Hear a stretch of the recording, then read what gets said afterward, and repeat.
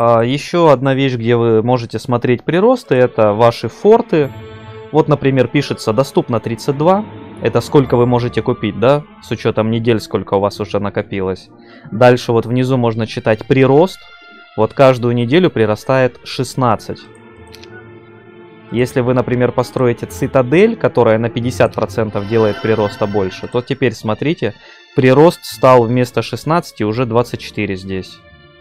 А, там, где прирост вообще не указан, это значит, что вы этих существ в своем городе еще даже не построили.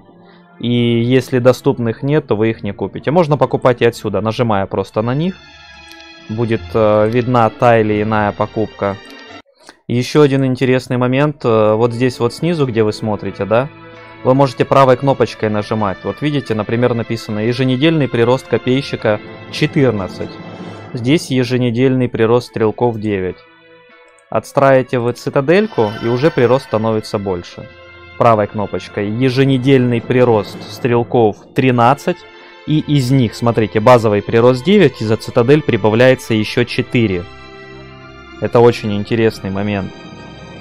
Ну и это еще не все. Смотрите, у ангелов э, базовый прирост 1. За отстроенный замок добавляется еще один. У нас здесь замок уже построен. В принципе, построено практически все, да? И за колос, ну то есть за отстроенный Грааль еще один добавляется, грубо говоря. Но смотрите, внешние жилища, если вы их будете захватывать, они тоже добавляют прирост. Мало того, что вы из внешнего жилища каждую неделю будете доставать определенный прирост, в данном случае одного ангела, да? Раз выкупили. Но заходя в город и кликая по э, юниту, внешнее жилище которого у вас уже есть, вы увидите, что теперь еще и плюс один здесь добавилось за внешнее жилище. То есть каждую неделю теперь будет здесь не три ангела, а целых четыре. Представляете, 4 здесь ангела. И внешнее жилище это еще один, это уже 5. То есть, если бы у вас здесь был еще одно внешнее жилище ангелов, смотрите, здесь одно внешнее жилище дает одного ангела, второе внешнее жилище дает второго ангела, и здесь в городе прирост бы был уже не 4 ангела, а 5. То есть получается уже 5 ангелов здесь, 2 ангела там, это уже 7. То есть представляете, в какой это прогрессии все начинает э, быстрее расти. Плохо, конечно, что внешнее жилище дает всего лишь прирост внутри вашего города на плюс один, но, допустим, у вас э, родных городов может быть не один, а несколько, как в данном случае. И на юнитов седьмого уровня это очень топово. На шестого уровня юнитов это довольно-таки топово.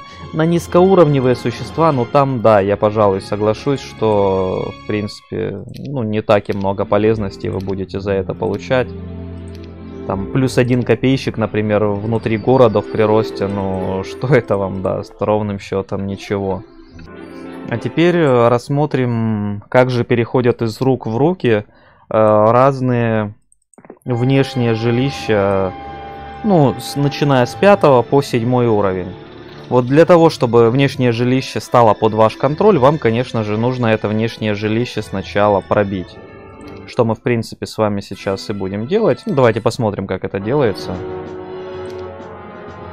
Начинается битва, вы врезаетесь и все. Внешнее жилище взято, после чего вы можете либо купить себе ангела, либо оставить его здесь. Ну, в данном случае, например, купить и вы уезжаете, к примеру, да? После чего будет ходить синий игрок. И когда он приедет, увидит внешнее жилище, которое уже захвачено, он не сможет просто заехать внутрь и выкупить то, что там есть внутри. Отжать себе внешнее жилище, просто посетив здание можно, только если там выкуплен прирост. Мы можем это проверить с вами еще раз, посещаем. Точно так же. Внешнее жилище перешло в нашу пользу. Если же пропустить много дней, чтобы там появился уже новый прирост. Ну вот, смотрите, начинается вторая неделька. Вы пытаетесь это внешнее жилище забрать, но из-за того, что там прирост уже появился, теперь вам придется снова сражаться. Поэтому пока вы не пробьете ту же самую охрану, вы не сможете забрать себе все назад.